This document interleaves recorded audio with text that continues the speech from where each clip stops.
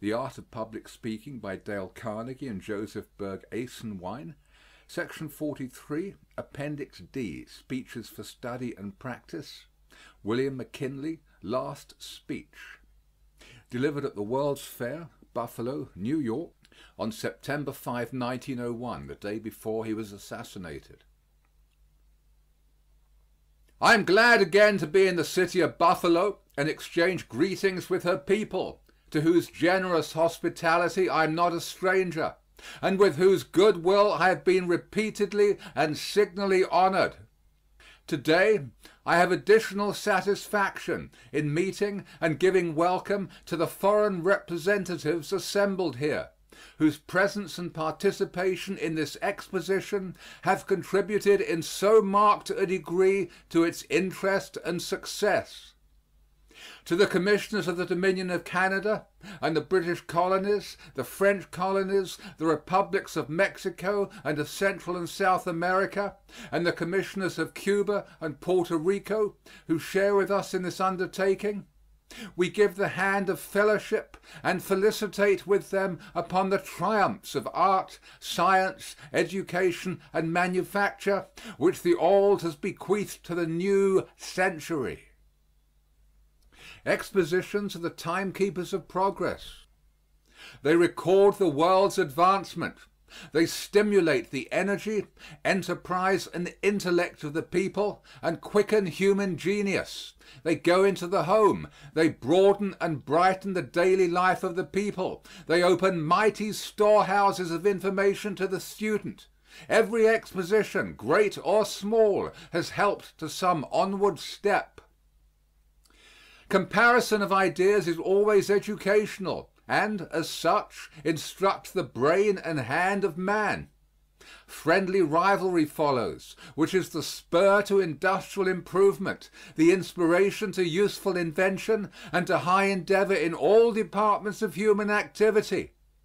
It exacts a study of the wants, comforts, and even the whims of the people, and recognizes the efficacy of high quality and low prices to win their favor. The quest for trade is an incentive to men of business to devise, invent, improve, and economize in the cost of production. Business life, whether among ourselves or with other peoples, is ever a sharp struggle for success. It will be none the less in the future. Without competition we would be clinging to the clumsy and antiquated process of farming and manufacture and the methods of business of long ago, and the twentieth would be no further advanced than the eighteenth century. But though commercial competitors we are, commercial enemies we must not be. The Pan American Exposition has done its work thoroughly, presenting in its exhibits evidences of the highest skill and illustrating the progress of the human family in the Western Hemisphere. This portion of the earth has no cause for humiliation for the part it has performed in the march of civilization. It has not accomplished everything far from it. It has simply done its best and without vanity or boastfulness, and recognizing the manifold achievements of others, it invites the friendly rivalry of all the powers in the peaceful pursuits of trade and commerce, and will cooperate with all in advancing the highest and best interests of humanity. The wisdom and energy of all the nations are none too great for the world work the success of art, science, industry, and invention is an international asset and a common glory. After all, how near one to the other is every part of the world! Modern inventions have brought into close relation widely separated peoples and make them better acquainted. Geographic and political divisions will continue to exist, but distances have been effaced. Swift ships and fast trains are becoming cosmopolitan. They invade fields which a few years ago were impenetrable. The world's products are exchanged as never before, and with increasing transportation facilities come increasing knowledge and larger trade. Prices are fixed with mathematical precision by supply and demand. The world's selling prices are regulated by market and crop reports. We travel greater distances in a shorter space of time and with more ease than was ever dreamed of by the fathers. Isolation is no longer possible or desirable. The same important news is read, though in different languages, the same day in all Christendom. The telegraph keeps us advised of what is occurring everywhere, and the press foreshadows, with more or less accuracy, the plans and purposes of the nations. Market prices of products and of securities are hourly known in every commercial mart, and the investments of the people extend beyond their own national boundaries into the remotest parts of the earth. Vast transactions are conducted and international exchanges are made by the tick of the cable. Every event of interest is immediately bulletined. The quick gathering and transmission of news, like rapid transit, are of recent origin, and are only made possible by the genius of the inventor and the courage of the investor. It took a special messenger of the government, with every facility known at the time for rapid travel, nineteen days to go from the city of Washington to New Orleans with a message to General Jackson that the war with England had ceased and a treaty of peace had been signed. How different now! We reached General Miles in Porto Rico and he was able through the military telegraph to stop his army on the firing line with the message that the United States and Spain had signed a protocol suspending hostilities. We knew almost instanter of the first shots fired at Santiago, and the subsequent surrender of the Spanish forces was known at Washington within less than an hour of its consummation. The first ship of Cervera's fleet had hardly emerged from that historic harbor when the fact was flashed to our capital, and the swift destruction that followed was announced immediately through the wonderful medium of telegraphy. So accustomed are we to safe and easy communication with distant lands that its temporary interruption, even in ordinary times, results in loss and inconvenience. We shall never forget the days of anxious waiting and suspense when no information was permitted to be sent from Pekin and the diplomatic representatives of the nations in China, cut off from all communication inside and outside of the walled capital, were surrounded by an angry and misguided mob that threatened their lives nor the joy that thrilled the world when a single message from the government of the United States brought through our minister the first news of the safety of the besieged diplomats. At the beginning of the nineteenth century there was not a mile of steam railroad on the globe. Now there are enough miles to make its circuit many times. Then there was not a line of electric telegraph. Now we have a vast mileage traversing all lands and seas.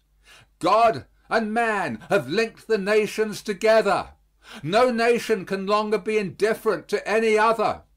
And as we are brought more and more in touch with each other, the less occasion is there for misunderstandings, and the stronger the disposition, when we have differences, to adjust them in the court of arbitration which is the noblest forum for the settlement of international disputes. My fellow citizens, trade statistics indicate that this country is in a state of unexampled prosperity. The figures are almost appalling. They show that we are utilizing our fields and forests and mines, and that we are furnishing profitable employment to the millions of working men throughout the United States, bringing comfort and happiness to their homes, and making it possible to lay by savings for old age and disability. That all the people are participating in this great prosperity is seen in every American community and shown by the enormous, unprecedented deposits in our savings banks. Our duty in the care and security of these deposits and their safe investment demands the highest integrity and the best business capacity of those in charge of these depositories of the people's earnings. We have a vast and intricate business, built up through years of toil and struggle, in which every part of the country has its stake, which will not permit of either neglect or of undue selfishness. No narrow, sordid policy will subserve it. The greatest skill and wisdom on the part of manufacturers and producers will be required to hold and increase it.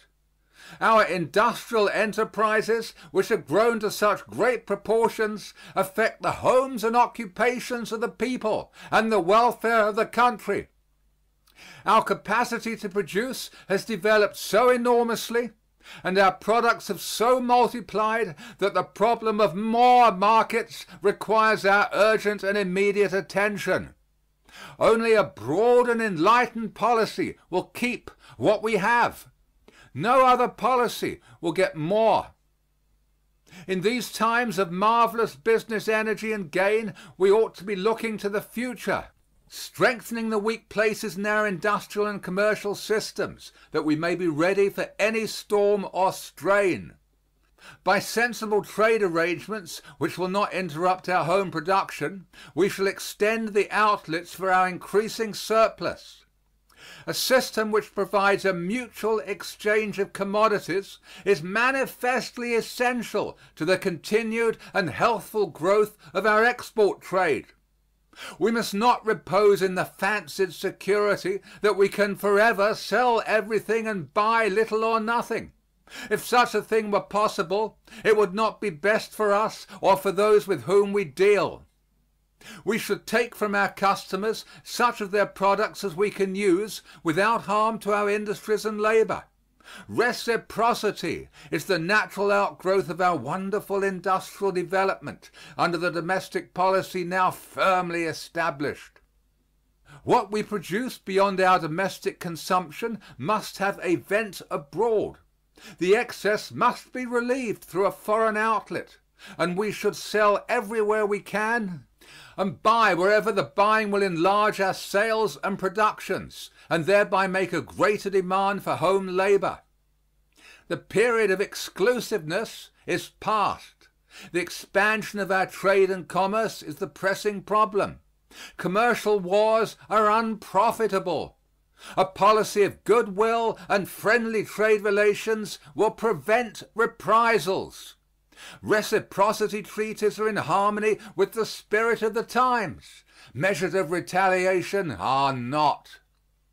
If, perchance, some of our tariffs are no longer needed for revenue or to encourage and protect our industries at home, why should they not be employed to extend and promote our markets abroad?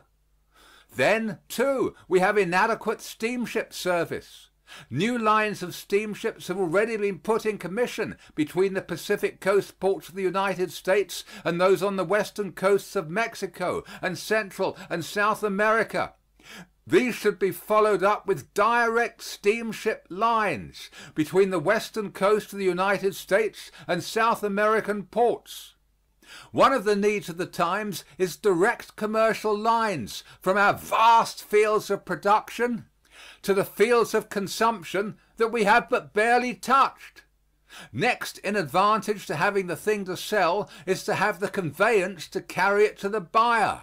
We must encourage our merchant marine. We must have more ships. They must be under the American flag, built and manned and owned by Americans.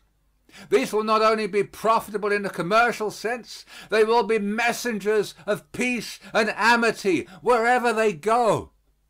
We must build the Isthmian Canal, which will unite the two oceans and give a straight line of water communication with the western coasts of Central and South America and Mexico. The construction of a Pacific cable cannot be longer postponed. In the furtherance of these objects of national interest and concern, you are performing an important part. This exposition would have touched the heart of that American statesman whose mind was ever alert and thought ever constant for a larger commerce and a truer fraternity of the republics of the New World. His broad American spirit is felt and manifested here. He needs no identification to an assemblage of Americans anywhere, for the name of Blaine is inseparably associated with the Pan American movement which finds here practical and substantial expression, and which we all hope will be firmly advanced by the Pan American Congress that assembles this autumn in the capital of Mexico. The good work will go on. It cannot be stopped. Those buildings will disappear, this creation of art and beauty and industry will perish from sight, but their influence will remain to make it live beyond its too short living with praises and thanksgiving. Who can tell the new thoughts that have been awakened, the ambitions fired, and the high achievements that will be wrought through this exposition? Gentlemen, let us ever remember that our interest is in concord, not conflict, and that our real eminence rests in the victories of peace, not those of war.